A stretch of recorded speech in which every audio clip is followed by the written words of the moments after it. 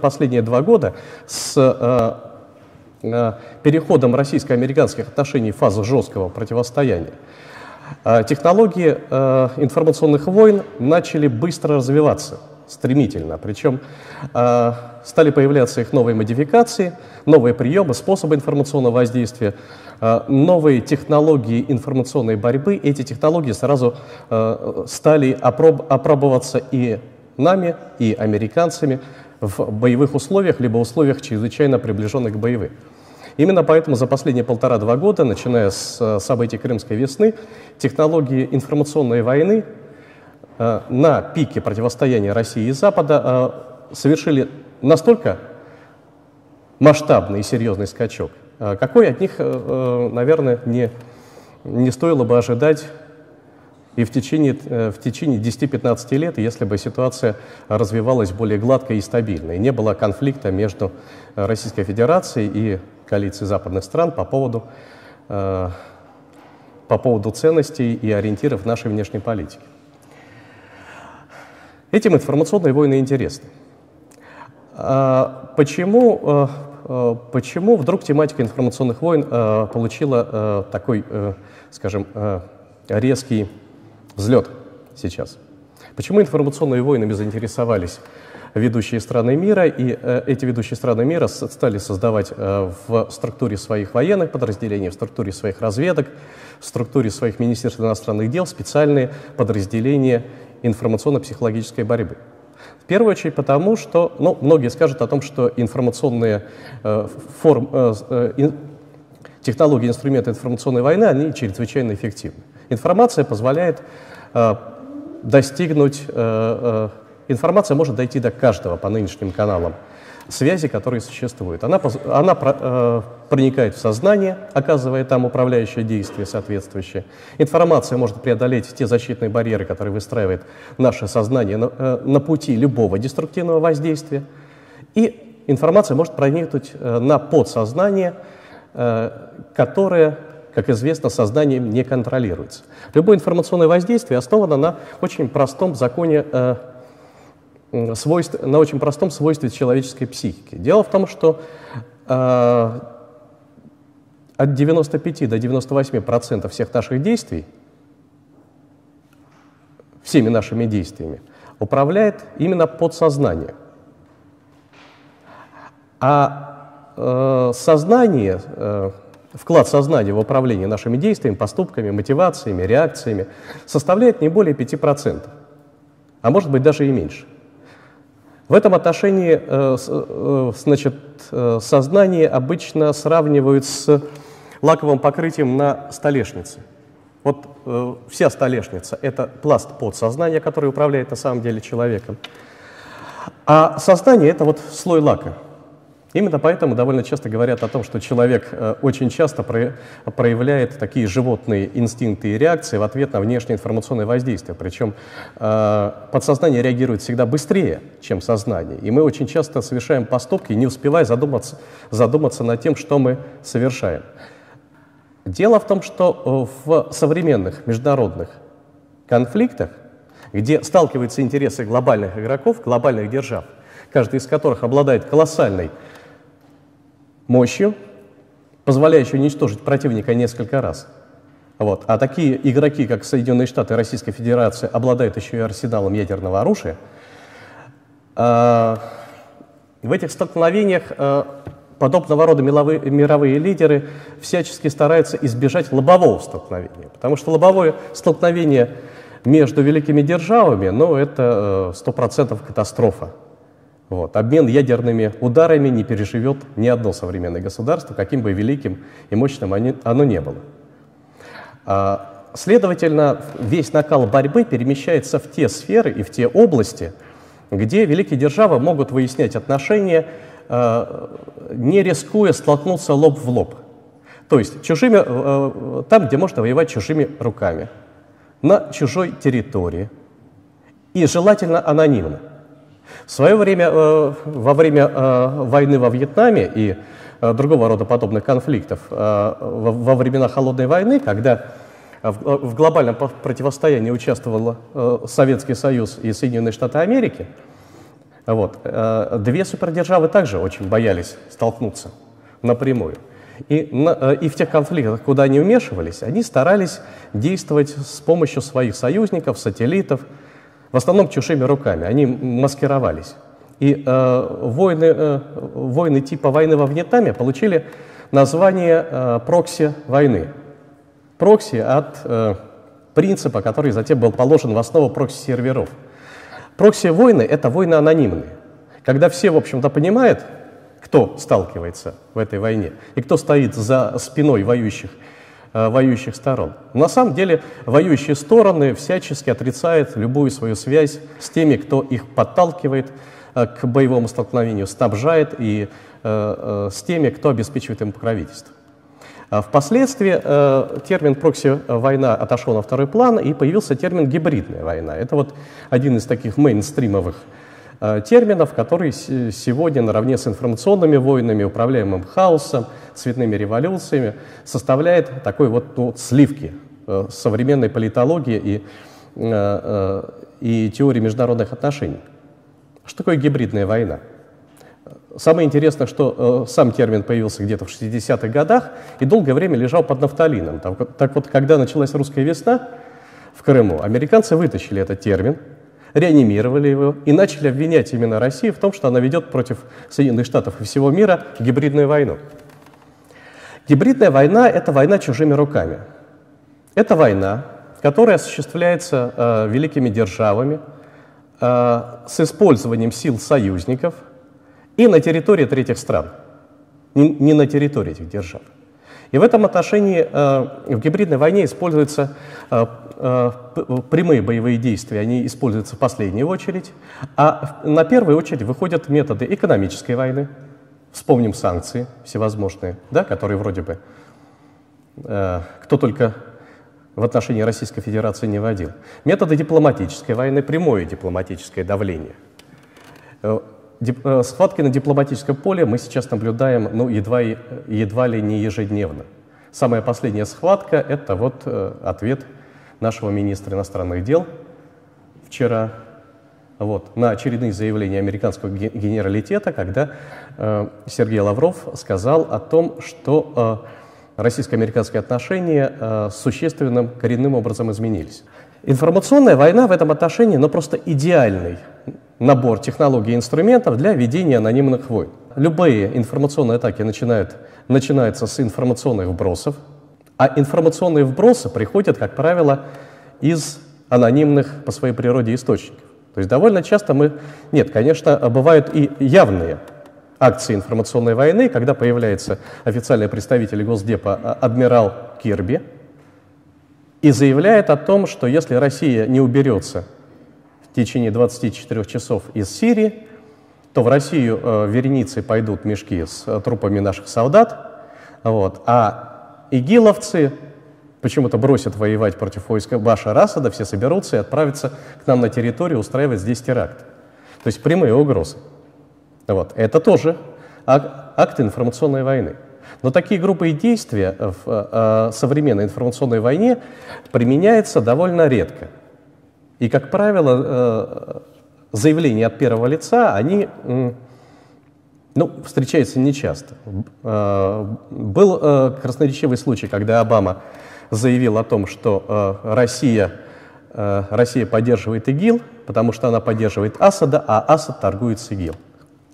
Вот. Но это все-таки э, э, такие лобовые грубые атаки, они э, скорее происходят у наших американских партнеров от бессилия, нежели от, не, не, от отсутствия, не от отсутствия фантазии и опыта. Вот, а как правило, мы имеем дело со следующим. Какой-нибудь телеканал Sky News британский публикует откровение какого-нибудь чиновника из Госдепа или двух чиновников. Почему-то вот американцы все время выдвигают парой. Два неназванных источника из Государственного департамента. Или два высокопоставленных сотрудника разведки Соединенных Штатов. Они выдают какую-то информацию явно провокационного характера или э, э, информацию компрометирующего характера. Например, обвиняют кого-нибудь из наших руководителей в каком-нибудь страшном преступлении против человечества – то ли в поедании младенцев, то ли э, в коррупции. В данном случае это совершенно не важно. Вот. И вроде бы внешне это выглядит, э, э, выглядит в принципе э, так, что этому в принципе можно поверить. И большинство зрителей, не вдаваясь в подробности, верят этому. Они видят, что, э, э, что эту информацию им доносит Sky News. Sky News – авторитетный канал в определенных кругах. Казалось бы. То есть сразу возникает э, ощущение того, что э, уж э, телевидение-то не может выдавать непроверенную информацию. Вот. Потом э, вспоминает о том, когда, когда зритель сам себе задает вопрос, откуда эта информация появилась, из какого источника. Вспоминает о том, что News указал о том, что эту информацию ему передали два высокопоставленных сотрудника Госдепа. Ну, казалось бы, да, компетентные источники, высокопоставленные сотрудники Госдепа. Обладают они такой, могут они обладать такой информацией? Могут. В, в теме они? В теме. В курсе дел? Ну, конечно, в курсе. Но потом э, и на этом э, большинство людей успокаивается. И начинает разбирать уже саму информацию, где э, все разложено по полочкам, где есть черное и белое, вот, и белое должно выступать против черного. Вот. Мало кто задается вопросом, а, собственно говоря, вот эти два высокопоставленных сотрудника Госдепа, а их можно увидеть лично? Можно убедиться в том, что они вообще в природе существуют? Что они действительно сотрудники Госдепа, посмотреть на их удостоверение. Корочки же у них какие-то должны быть, наверное, раз они сотрудники Госдепа. Вот. И здесь выясняется, что э, Sky не может их не показать, не уж тем более раскрыть их имена, фамилии и отчества э, и данные их, потому что они же э, при исполнении находятся. И поделились они с Каньюз как с доверительным источником, на таких неформальных основах. Если они сейчас назовут свои имена и будут преследовать по работе. То же самое происходит, когда э, телеканал э, типа Sky News или CNN берет и э, Э, берет подобную информацию у высокопоставленных сотрудников разведки. Разведчиков в принципе нельзя рассекречивать. Как же? Они же все время, всю жизнь работают под прикрытием. Как же? Их покажут, произойдет расшифровка, вот, пострадает там, дела службы, агентуру их все переловит и пересажает. Потому что когда увидят лица этих людей, сразу поймут, с кем они встречаются. Как же? Так нельзя. И в итоге получается, что вот здесь вот ниточка и обрывается. Если, если возникает желание проверить истинность этой информации, выясняется, что это анонимные источники. Нет э, никаких доказательств и никакой гарантии того, что они на самом деле существуют. И вот здесь, по идее, должен, быть э, должен прозвенеть звоночек. Но звенит он далеко не у всех. А, таким образом, получается, что под некой легендой, под неким прикрытием правдоподобности – достоверности и искренности довольно часто в операциях информационной войны подается через авторитетные, кстати говоря, каналы, такие как CNN или Sky News, или Washington Post, или Associated Press, который довольно часто используется для подобного рода контролируемых утечек, подается на самом деле информация, достоверность э, которую невозможно проверить. То есть информация от анонимных источников. Вот. И выйти на них невозможно. А если на них невозможно выйти, то невозможно э, перед всем мировым сообществом э, доказать, кто именно эту атаку организовал. Следовательно, аноним, который стоит за этой атакой, он останется безнаказанным. И риска, и если этим анонимом является э, такой монстр, как Соединенные Штаты, мировой лидер, вот, то его не притянешь к ответу, и столкновение между великими державами, обладающими ядерным потенциалом, не будет. Вот почему информационные войны в последнее время, э, ну прям на пике популярности, и появляются новые схемы и способы, и методы информационного воздействия.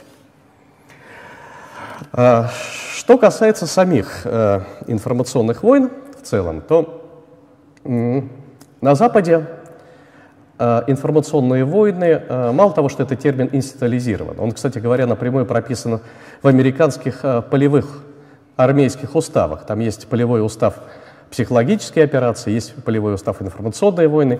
И на сегодняшний день таких боевых уставов армии США, их больше десяти уже. Вот. Там термин информационные войны присутствует в единственном экземпляре. Это Information Warfare. А вот у нас, он э, в нашем поле, он присутствует, видимо, э, в, в различных переводах и интерпретациях. Вы можете встретиться с информационной войной, с кибервойной, с психологической войной, с информационно-психологической войной и информационным противоборством. Довершение ко всему. Вот если посмотреть английский термин, то получается, что, в общем, видимо, разные переводчики по-разному переводили. Но почему-то все считают, что это объекты разные.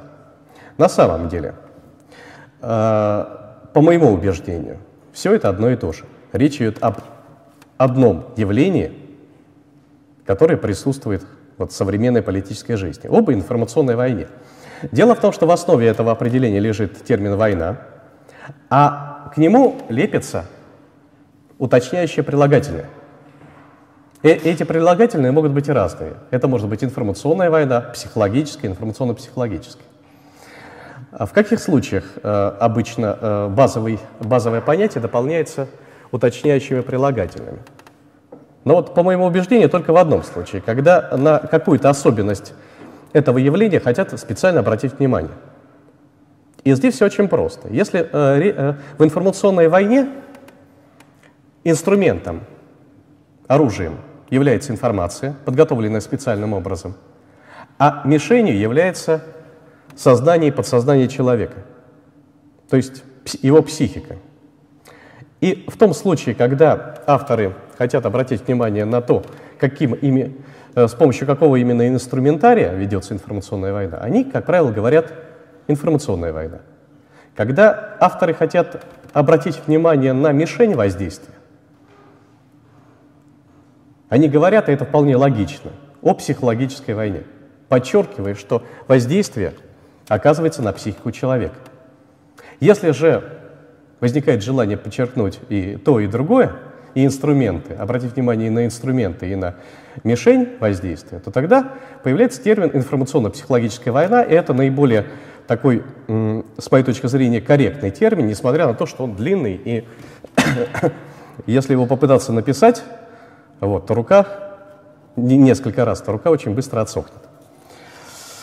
Значит, э, э, объектом любой информационной войны является, вот в наиболее общем виде, это человеческое сознание и подсознание. То есть э, информационное воздействие направлено на психику человека с целью управления сознанием, подсознанием и поведением человека. И это тоже, тоже понятно. Но если рассматривать конкретные мишени, то мы увидим, о том, что, э, увидим, что информационные атаки на практике могут быть направлены на, на первых лиц государства. Это атаки типа э, панамского вброса, панамского досье, которые все мы совсем недавно наблюдали. Это информационные операции, которые информационные атаки, которые могут быть направлены на э, элиты и элитные группы, потому что э, ни один политический лидер не может удержаться у власти без поддержки элит, на которые он опирается, и от консолидированности и сплоченности этих элит зависит устойчивость политического режима. Информационные атаки могут быть направлены на целевые аудитории с целью стимулирования их э, мотив, мотивации их к определенному типу поведения, социального, асоциального, там, консолидирующего, поддерживающего власть или протестного, неважно. И информационные атаки могут быть направлены на все общество в целом. В том случае, если они направ... Э, информационные атаки направлены на конкретных лиц, например, на первых лиц государства, то э, цель, главная задача информационной войны в этом отношении – это сломить волю противника к сопротивлению и подчинить его сознание своей воле. Все очень просто. Если информационные атаки направлены на более крупные э, социальные страты, например, на общество в целом, то цель информационных атак — расколоть или фрагментировать это обще общество, на, расколоть его на отдельные фрагменты, э, сделать так, чтобы эти фрагменты породить между ними антагонизм, сделать так, чтобы они ненавидели друг друга, и затем эти фрагменты столкнуть между собой.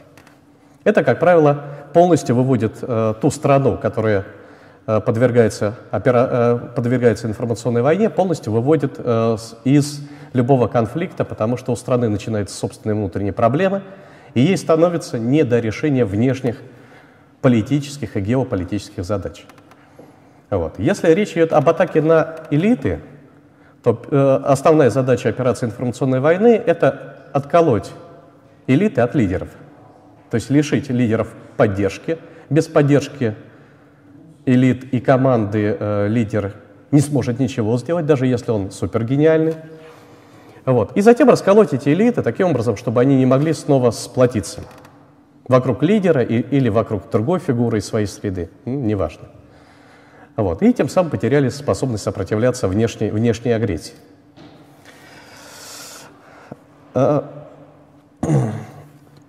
Что касается цели информационной войны, то задачи мы сейчас перечислили, а главная цель информационной войны — это обеспечение добровольного, добровольной подчиняемости человека.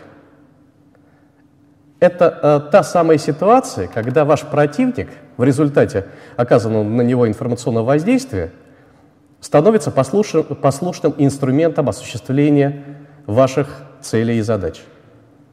Он э, приходит к выводу о том, что ему следует вам подчиниться, причем подчиниться добровольно, и начинает работать на вас не за страх, а за совесть. Э, в этом отношении те люди, которые, проходя через э, такой сложный переломный момент ломается, чья воля ломается, они не очень интересны организаторам информационных войн, информационных атак, потому что сломанного человека э, сложно использовать в дальнейшем. Он, э, он теряет и ценность как инструмент. А вот те, кто, э, те, кто подчиняются этому воздействию и э, убеждают и са, сами себя о том, что их исторический выбор — это вот добровольно подчиняться источ...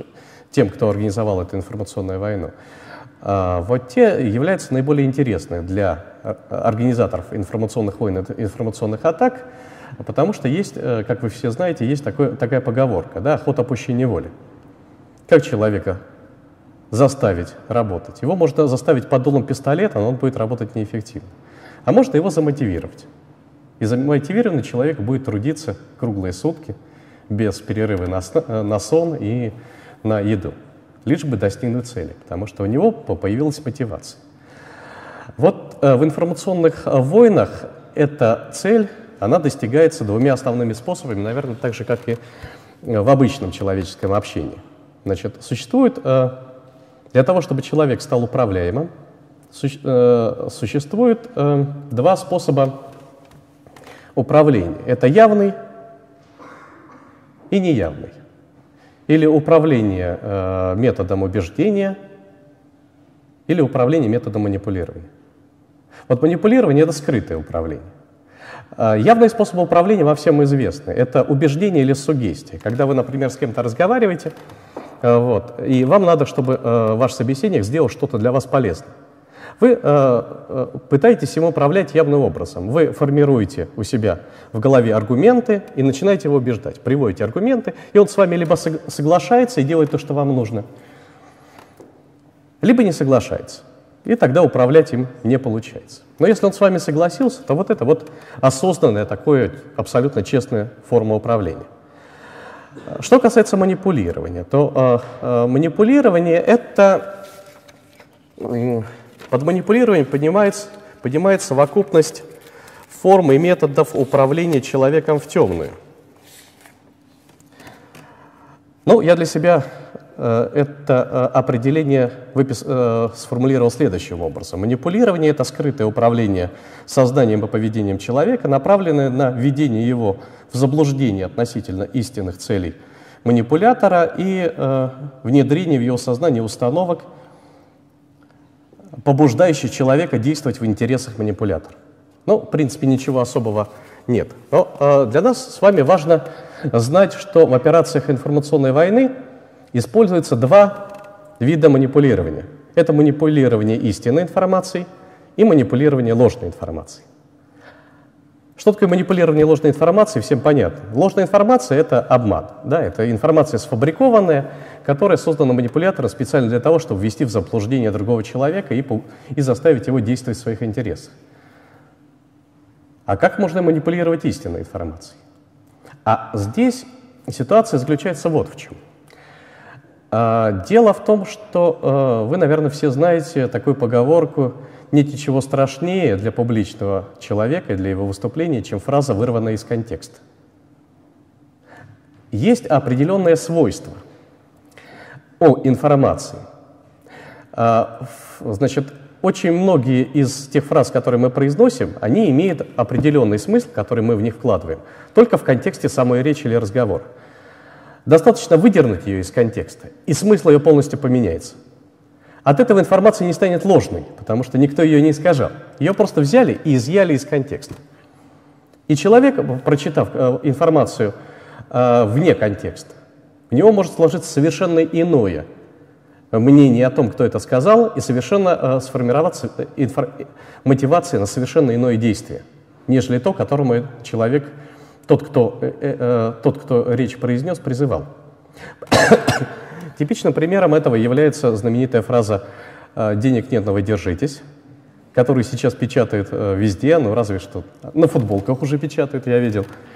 А вот, сказанное нашим э, э председателем правительства э, Дмитрием Анатольевичем. Медведев. Дело в том, что если посмотреть, это типичный пример, э, я не пытаюсь оправдывать при этом Дмитрия Анатольевича, но э, э, хождение этой фразы типичный пример фразы, вырванной из контекста. Потому что если прочитать ее вне контекста, денег нет, но вы держитесь, сказанное с высоты вот такого крупного государственного чиновника, это выглядит по меньшей мере цинично. Но если посмотреть запись встречи Медведева с крымчанами, когда он эту фразу и произнес, целиком, включая видеоряд, то э, ситуация кардинально поменяется.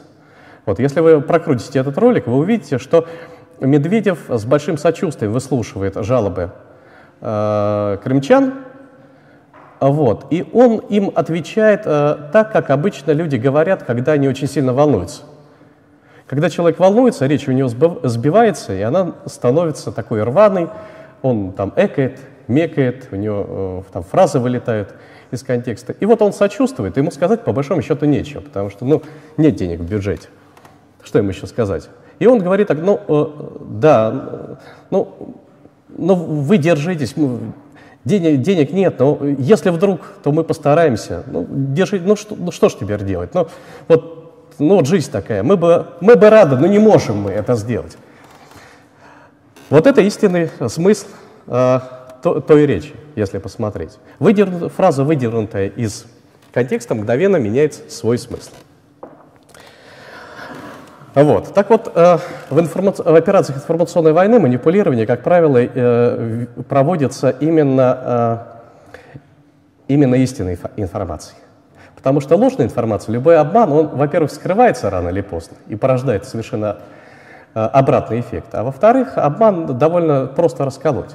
Гораздо сложнее определить, что из тех э, э, истинных вещей, которые ну, э, не, э, не сфабрикованных, что, э, что из них используется для того, чтобы как раз оказать вот, скрытое управля, управляющее воздействие.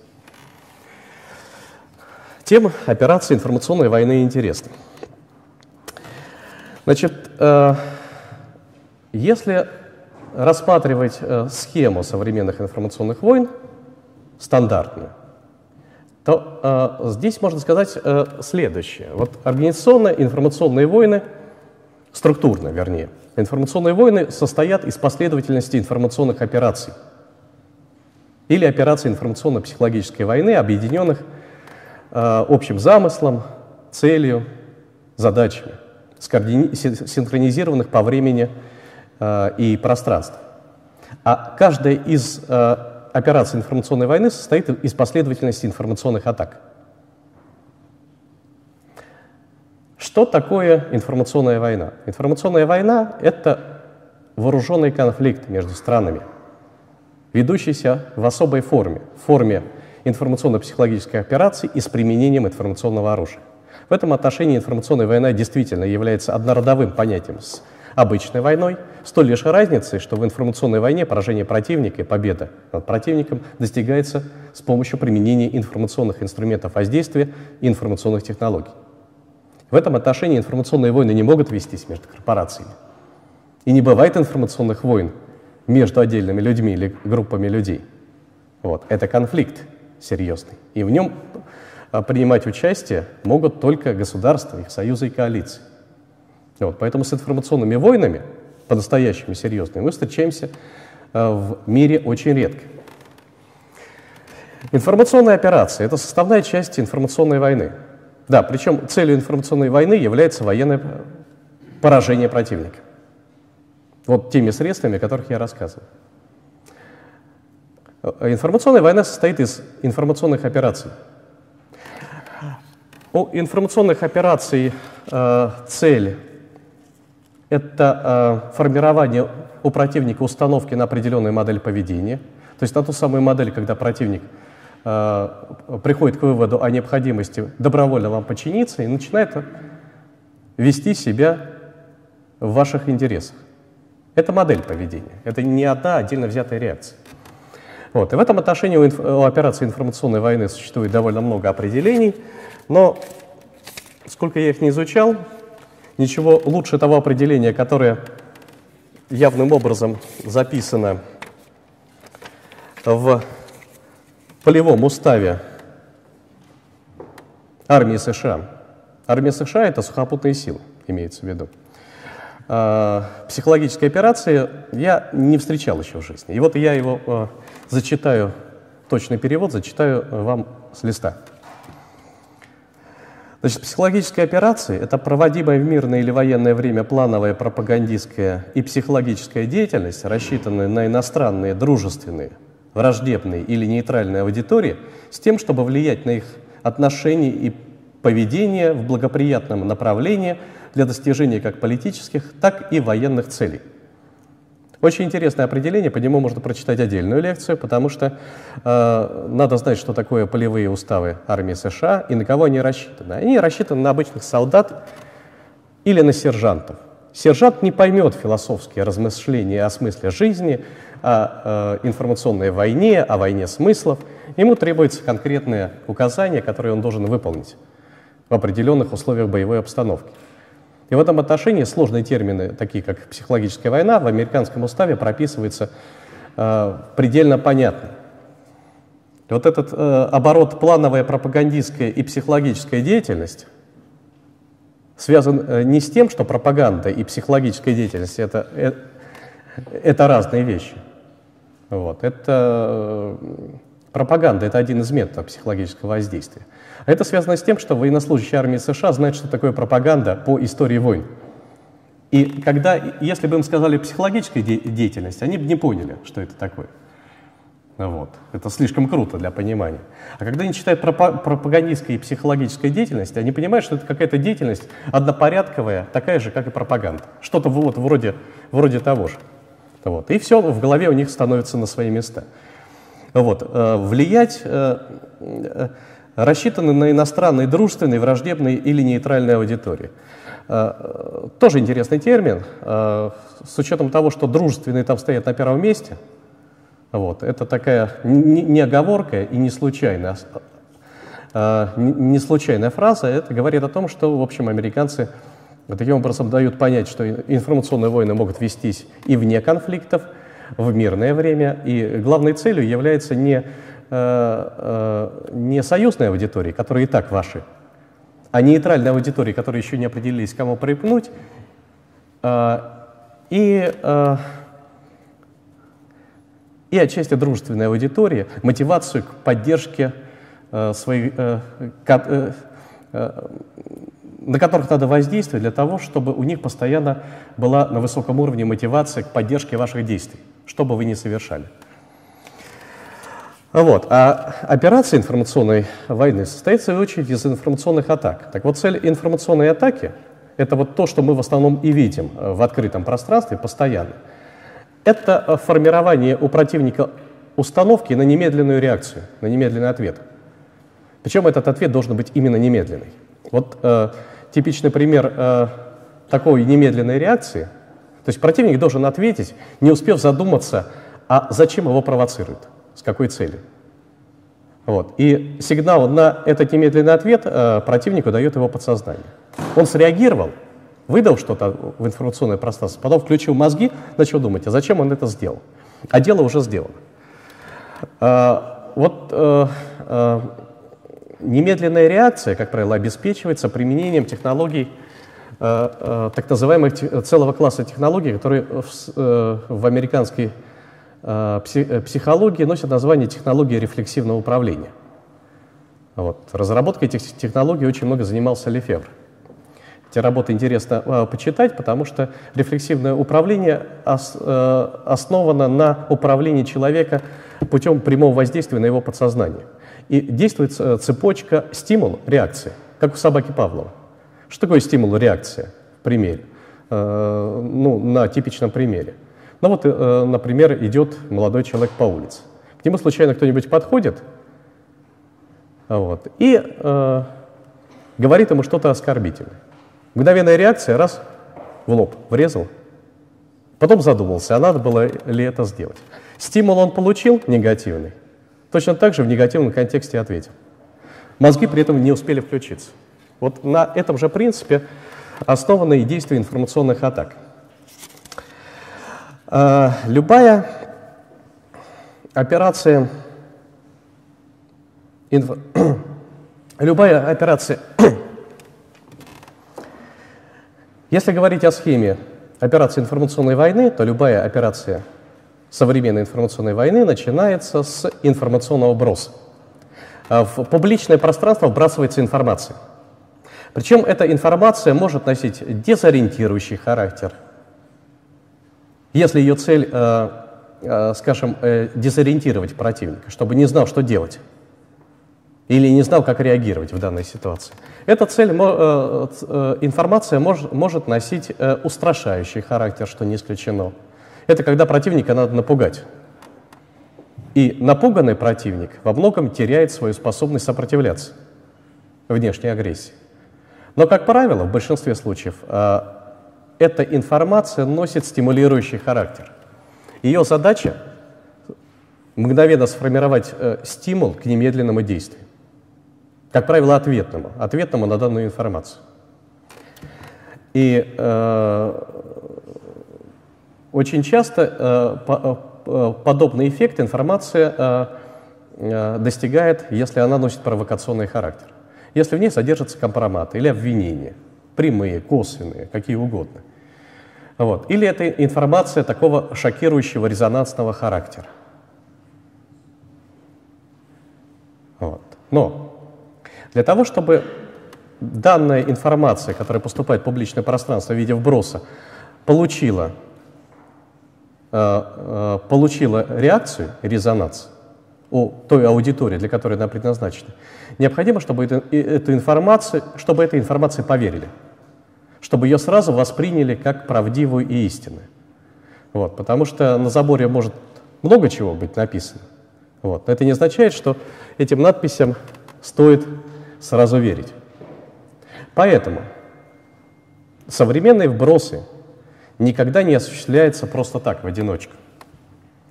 Они всегда происходят в рамках более крупных операций, которые, э, целого класса операций, которые называются операциями по легендированию вбрасываемой информации.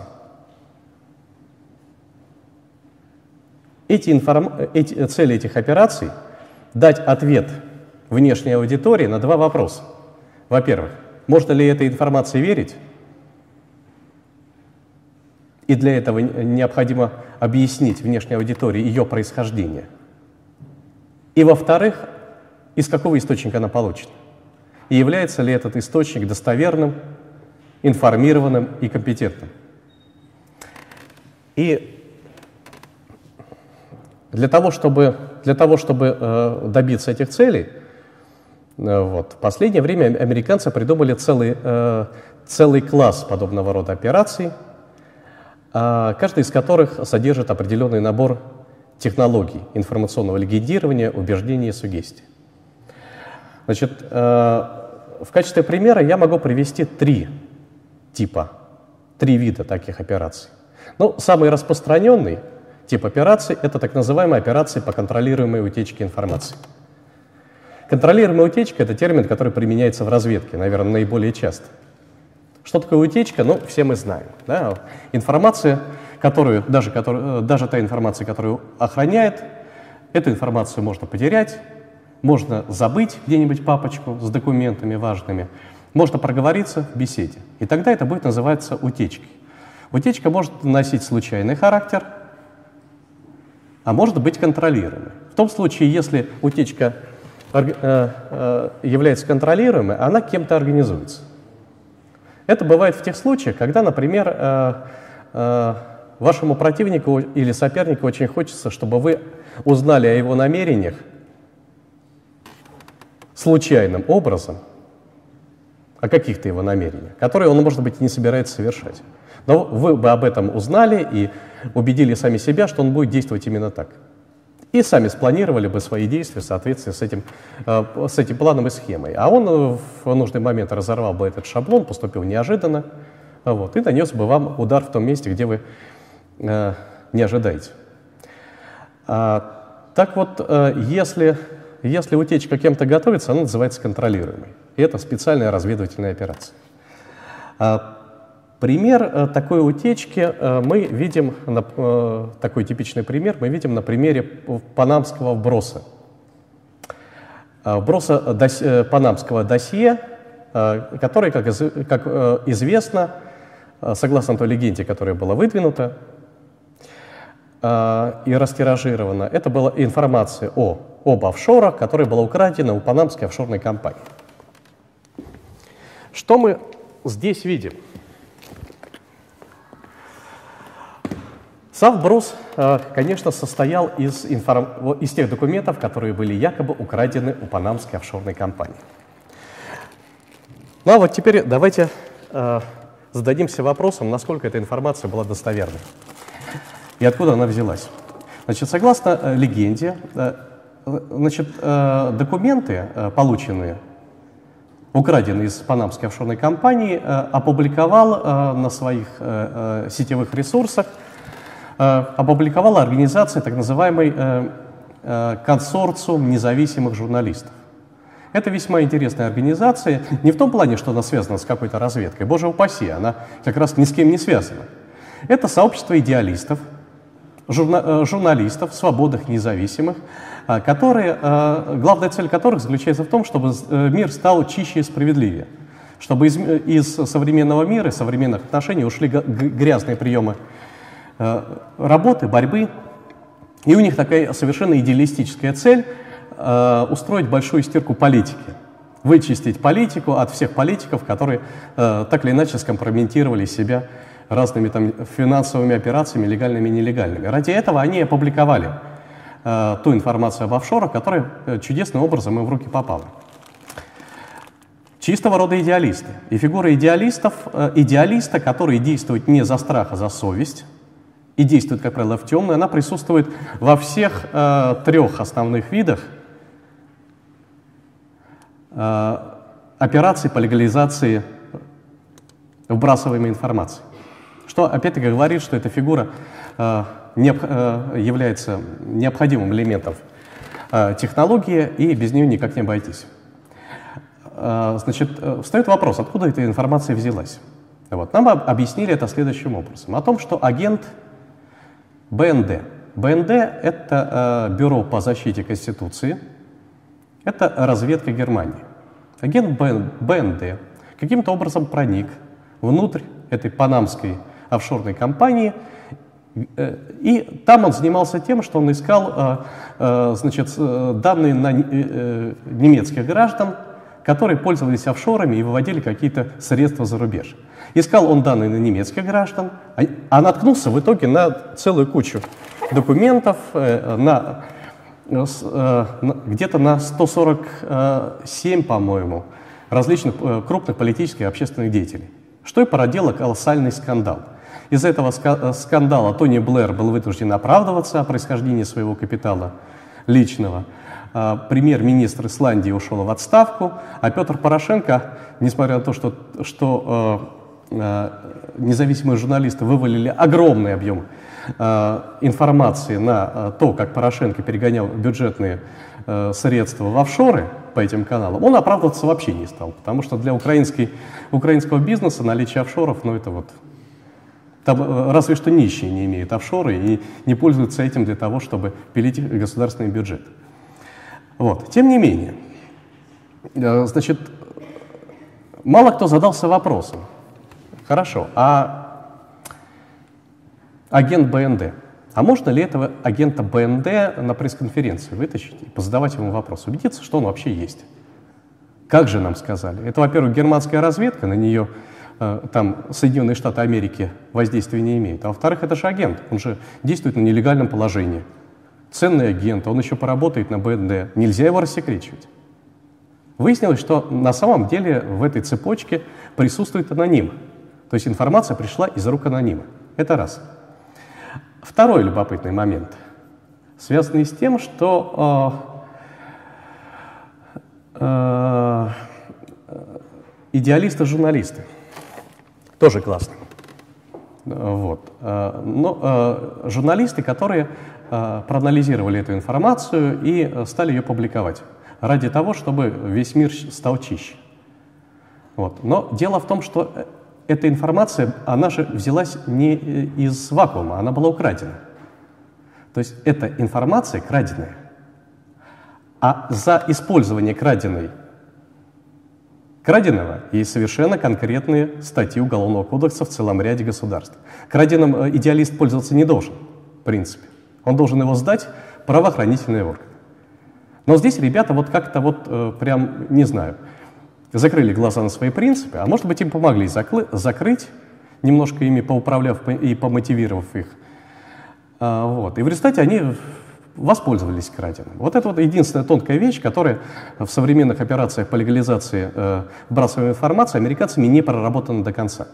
Они никак не смогли устранить вот этот конфликт между идеалами идеалиста, который придает огласке украденные э, сведения, секретные, а, и э, статусом вот этой краденой информации. Это единственный прокол, других нет. Вот. И, э, а далее начинается, а, а, то есть, в общем-то, выясняется, что информация так краденая, то есть ей тоже, наверное, доверять не стоит. Вот. Но мало кто задается вопросом об этом статусе. Все думают о том, что, а, разведка украла, ну, все прекрасно. Есть понятие механизм происхождения, механизм кражи. То есть ее там не выцепили, ее украли. Вот в недавней операции с ВАДА, э, с взломом серверов ВАДы, которые взломали хакеры, вытащили оттуда информацию, начали публиковать. Это вот э, операция, как две капли воды, напоминающая панамский э, скандал. Там тоже секретная информация появилась в результате кражи сохраняемых серверов. И статус сохраняемой информации придает вроде как ей вид достовер, э, достоверности, потому что не будут пустышку же охранять. Но проверить, охраняли ли эту информацию, и эту или информацию охраняли, никто не может. Значит, далее. А далее э, ситуация разыгрывалась вот каким образом. Происходит вброс первого пакета сведений, и журналисты говорят, э, объясняют то, что они не опубликовали весь массив, они говорят, что массив очень огромный. И вот мы первую порцию обработали и тут же ее опубликовали. Окей. То, что это только первый вброс, означает, что будут и последующие вбросы. А это означает, что сама операция становится многокаскадной. И в этой операции будет повторяться одна и та же схема, и, скорее всего, а, в итерационном ключе. Когда происходит вброс, он порождает определенную реакцию, ответную реакцию – первичную, потом ответную реакцию мишени воздействия. Эта реакция считывается с помощью обратной связи.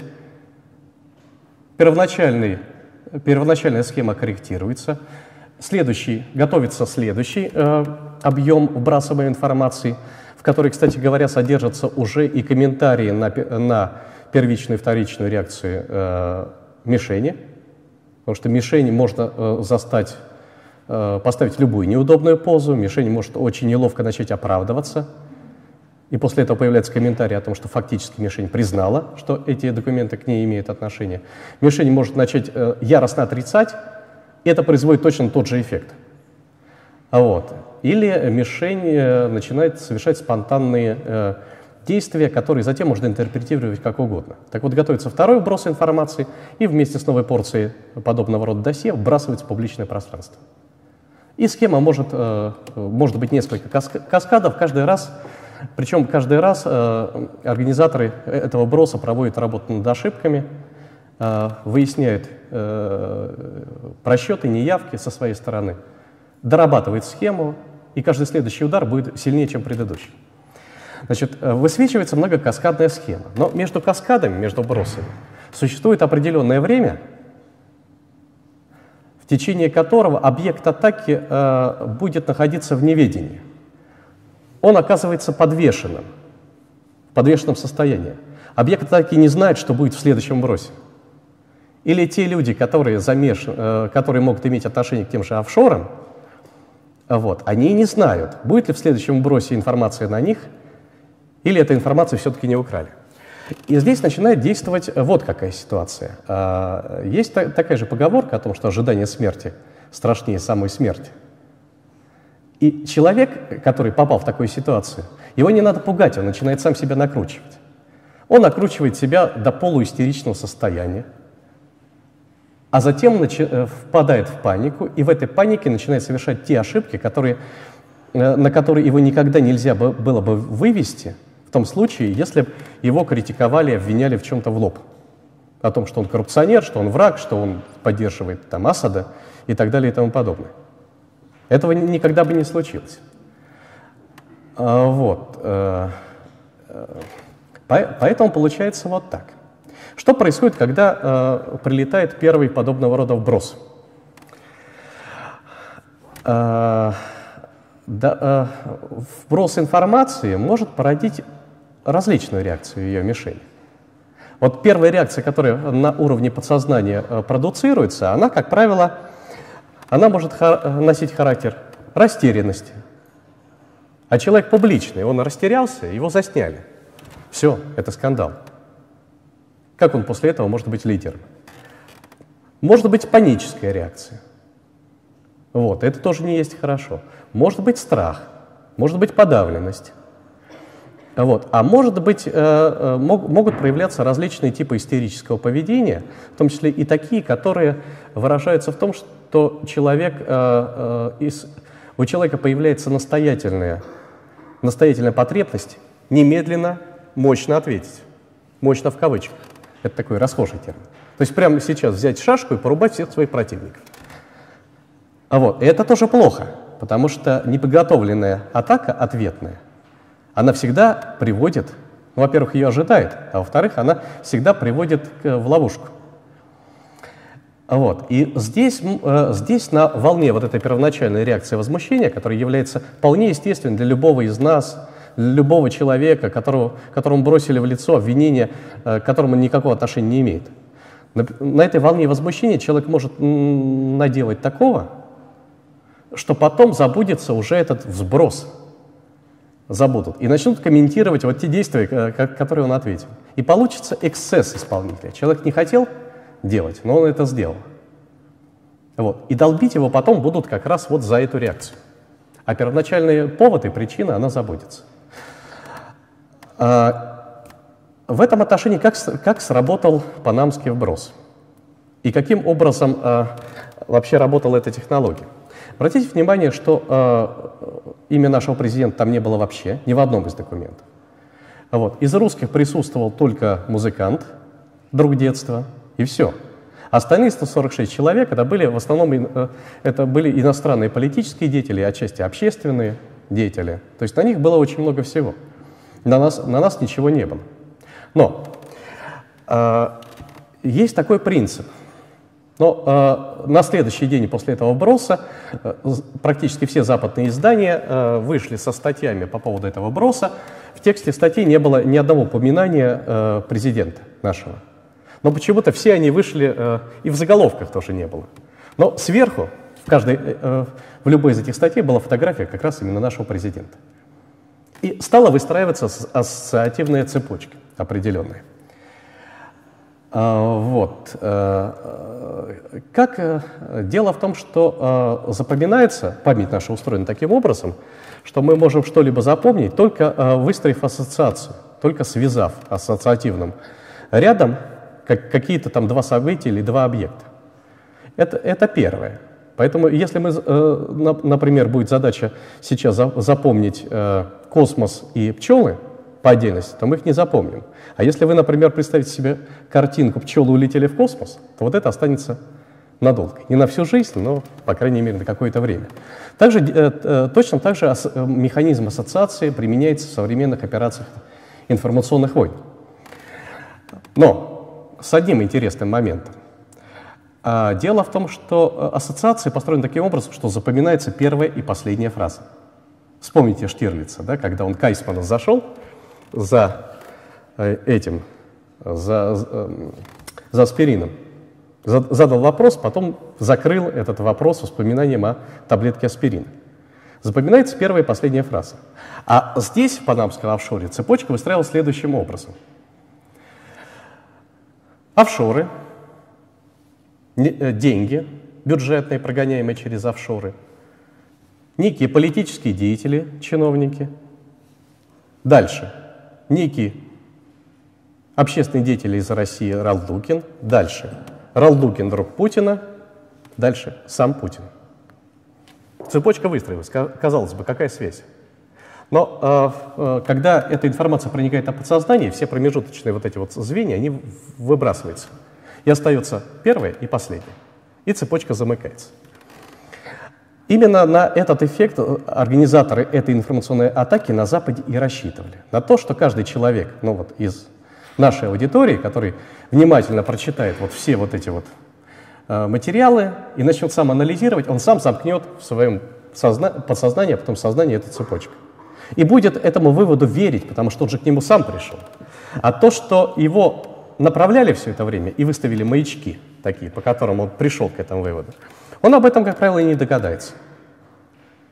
А раз он сам к этому пришел, он не будет перепроверять эту информацию и это же его вывод. Все, дело сделано. Вот. Но э, на самом деле, если э, рассматривать, изучать... И интересно, что через некоторое время Wikileaks подтвердила. Несмотря на то, что в этом вбросе ни слова не было о руководителях нашего государства, через два дня э, Wikileaks выбросила информацию, пакет документов, в которых было написано о том, что атака это на самом деле на нашего президента. То есть э, я это представляю следующим образом. Я не считаю Wikileaks э, про нашим сайтом. Вот. Я считаю, что Wikileaks это одна из технологий по легализации вбрасываемой информации, придуманная на, на Западе. А, вот. А, Wikileaks замкнула эту цепочку для тех, кто не догнал. Потому что американцы, как всегда, перестраховались. Они э, подумали о том, что ну, Э, те, кто быстро соображает, они сами додумаются. А вдруг осталась какая-то небольшая группа, которая все-таки не додумалась. Надо им подсказать. Ну, они взяли и подсказали, и это выдало их э, целиком. Но на самом деле, когда такие операции проводятся, э, далеко не всегда тот объект, который, казалось бы, явно находится в фокусе, действительно является объектом атаки. Потому что в плане панамского вброса атака была направлена не на первое лицо государства. Он был в этом отношении таким прозрачной призмой, через которую эта атака прошла. Она была направлена на элиту, на нашу, которая, как известно, состоит из э, групп интересов, которые очень сильно конкурируют между собой. И вот задача была как раз ее э, поляризовать, разделить, на, э, разбить на несколько лагерей. Потому что реакция на офшорный скандал у элиты была, там было бы две, по крайней мере, реакции. Значит, одна часть элиты тут же перешла в гнетенное состояние, они э, перепугались, они посмурнели, и, на, и у них началось пацифистское такое э, стремление. Они начали говорить о том, что надо срочно с Соединенными Штатами замеряться, а то мало ли что. Вот. То есть они потеряли волю к сопротивлению. А вторая элита, наоборот, перевозбудилась и почувствовала себя новыми буденными, которым надо только коня и шашку. Все. И э, другая часть элиты, наоборот, стала рваться в бой. Я знаю конкретных людей, но называть их не буду в качестве примеров. Вот. Это тоже было плохо. И появился конфликт между ними, напряжение между теми, кто стал выступать за то, чтобы лапки сложить, и между теми, кто стал, э, стал э, настоятельно подталкивать на так называемый мощный ответ. Уже произошла определенная поляризация. Э, вот. Потом, когда прозвучала фраза в публичном пространстве, смотрел, видел я эти документы, меня там нет. Элита совсем перепугалась, надо было видеть лица тех, кто там слушали это, а потому что, ну, меня там нет, а мы-то там есть, а нам-то что делать? Нас бросили. Вот. И в итоге вот началась вот эта вот э, чехарда и катавась. Но, э, э, но в этой схеме э, важен еще один момент. Дело в том, что мало того, что она многокаскадная, э, те схемы операции информационной войны, которые американцы применяют, они невозможны без э, обратной связи. То есть америка, американские политтехнологи, они вот так, э, такой стиль у них работы. Им надо обязательно все время иметь возможность получить обратную связь, реакцию с, от объекта атаки. Они провели информационную атаку и должны считать обратную реакцию. И долгое время у них все было окей в этом отношении, потому что э, именно эта схема и работала. То есть э, американцы проводили какую-нибудь атаку, обвиняли Россию там, в коррупции, э, в чем-нибудь еще. Вот. Тут же появлялись наши официальные лица и давали мощный ответ. Американцы засчитывали этот мощный ответ, потирали руки и говорили, окей, значит, мы все правильно делаем. И готовили новый тот же вброс. Тут же выходили другие наши официальные лица и говорили, о, окей, и так это было до того момента, пока э, э, Владимир Владимирович неожиданно для всех, незадолго до Олимпиады, на 10 дней не пропал из публичного поля. Он исчез. И одновременно с его исчезновением э, разорвалась эта обратная связь. Вот надо было видеть э, реакцию американцев, американских политтехнологов, потому что у них началась паника. У них был шаблон, в котором они работали, была парадигма, в которой они работали, тут трах-бабах, все это разорвалось. Они проводят э, информационный брос, а обратной реакции нет. Потому что мишень, которая должна дать эту обратную реакцию, она куда-то делась. Неизвестно куда. Вот. В этом особенность нынешних операций американских информационно-психологической войны. Без обратной связи они не могут. Они теряются. И в этом, наверное, их одновременно и сила, и слабость. Что касается других операций по легализации информации, то здесь можно э, э, э назвать такой вид операции аналогичной, как э, операция типа «перебежчик». Типичным примером этой операции является Сноуден. С моей точки зрения, Сноудену дали уйти, его предварительно нашпиговав его информацией, организовав то самое контролируемую утечку. А Сноуден, будучи идеалистом и будучи человеком, которого использовали в темную, вот, он действовал искренне, потому что его аккуратно подталкивали, он не мог понять, что это исходит откуда-то там снаружи. Вот, он действовал в соответствии со своими идеалами, проявлял героизм, за ним гнались. Его э, раз 15 могли пристрелить в этой погоне запросто, но почему-то каждый раз полшага не хватало американским спецназовцам, чтобы этого Сноудена догнать. Вот. А так как его, его преследовали, то информацию, которую он принес, э, к ней должно было быть оказано большее доверие, потому что он же спас ее, рискуя жизнью. Если бы информация была неподлинная или фальшивая, за ним бы не гнались. Вот. Это второй тип, э, в котором присутствует и факт кражи, Сноуден украл эту информацию, и э, фигура идеалиста, который Сноуден является, она тоже присутствует.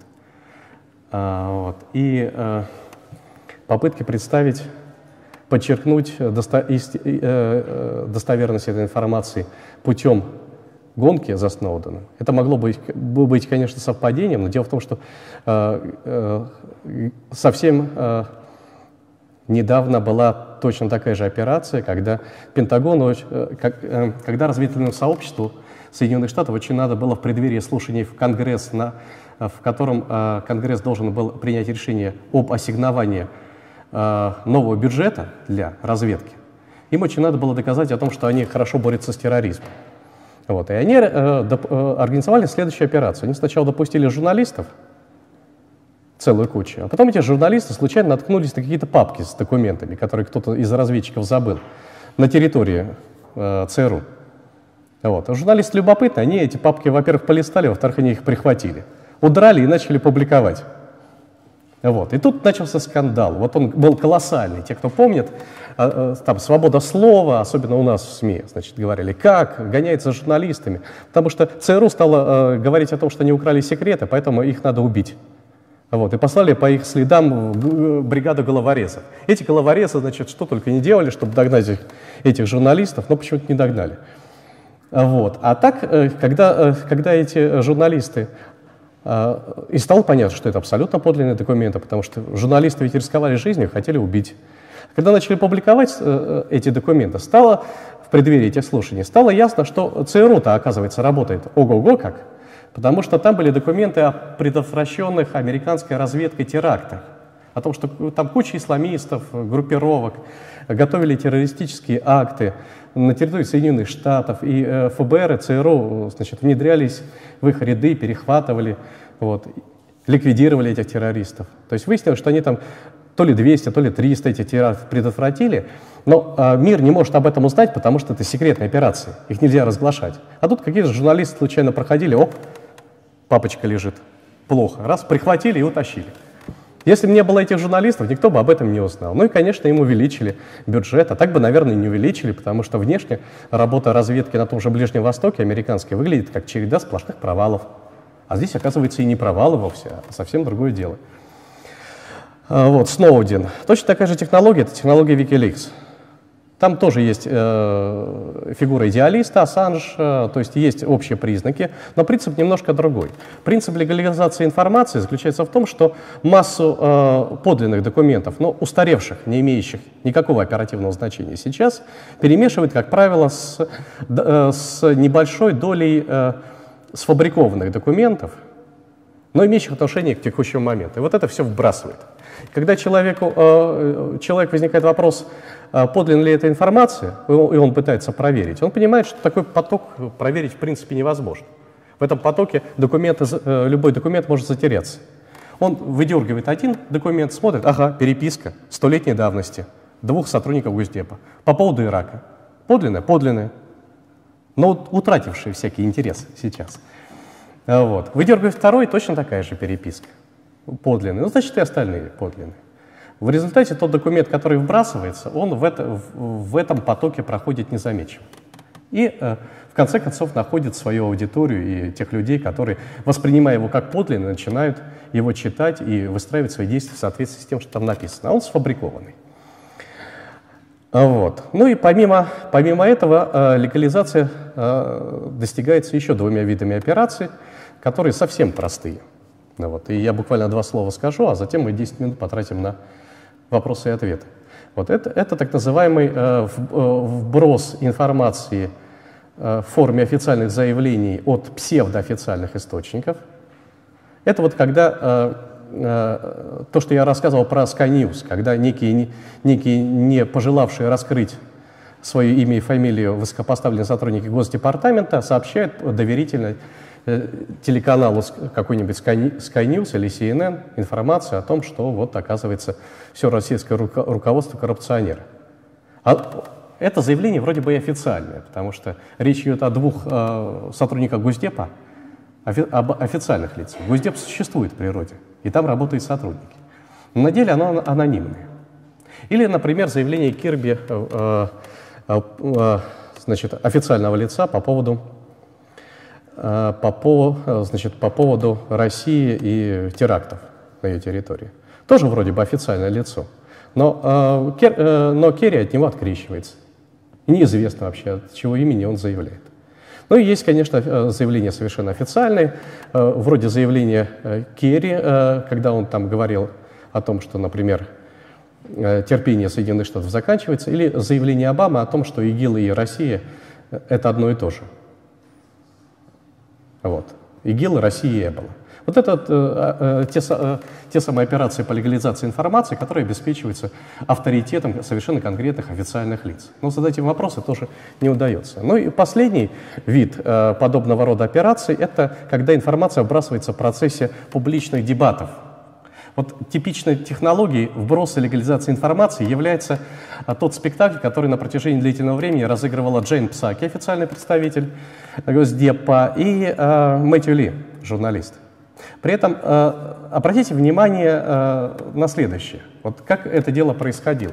Псаки выдавала какой-то очередной комментарий и, э, в открытом пространстве, и тут на нее набрасывался Мэтью Ли. Мэтью Ли был э, образцом такого правдоруба, человека, который выступает за полные идеалы. Снова фигура идеалиста. И он начинал э, э, значит, задавать вопросы неудобные для Псаки. Псаки по мере своих возможностей, она не играла, она искренне совершенно, вот ее поставили на это место, она там крутилась, как белка в колесе. А вот, давала ответы такие, что ставила каждый раз себя в неудобное положение. Мэтью Ли окрылялся и начинал долбать эту Псаки просто по самой не балуйся. А вот. В итоге э, те, кто наблюдали за этим спектаклем, они на чью сторону вставали? На сторону Псаки, которую обвиняли в том, что она лжет, занимая высокое положение, э, и Госдепартамент лжет устами Псаки. Нет, на, на сторону Мэтью Ли. Постепенно начина, э, любой человек, который значит, смотрел эти дебаты, он начинал ощущать родство с Мэтью. А вот. Потом начинал с ним солидаризироваться в тех заявлениях, которые Мэтью Ли и аргументах, которыми он долбал Псаки. А затем происходило полное эмоциональное слияние. Вот. Э, каждый понимал о том, что вот он, он и Мэтью Ли — это свои, а Псаки — это чужие. И в этот момент исчезала критичность. И желание вообще э, понять, а э, почему Мэтью Ли периодически дает такие пространные комментарии. А Ли при этом делал вот что. Вот он нападал на Псаки, потом выстраивал следующую фразу. Он говорит — так вы утверждаете, что то-то, то-то, то-то происходит так-то, так-то, так-то. А я считаю, что это означает то-то, то-то, то-то, то есть предложения шли утвердительные. А затем Мэтью Ли завершал свою речь вопросом Псаки. Любым. И э, неважно было, какой был вопрос. Но суть в том, что когда он говорил утвердительно, рубленые фразы, то, что он говорил, те, те тезисы, которые он произносил, а, проходило в сознании, подсознании тех людей, которые к этому моменту с ним полностью солидаризировались и готовы были выступить с ним вместе на светлой стороне силы, да, против темной стороны силы, а, вот, они просто, эта информация проходила, минуя любые фильтры. Никто не задумывался о том, что э, именно говорит Мэтью Ли, с какой целью он говорит, и с какой целью он дает те или иные оценки конкретным событиям. Потому что Мэтью Ли свой. Так что, уважаемые коллеги, на этом мы лекцию закончим. И у нас есть время еще для того, чтобы ответить на вопросы. Спасибо.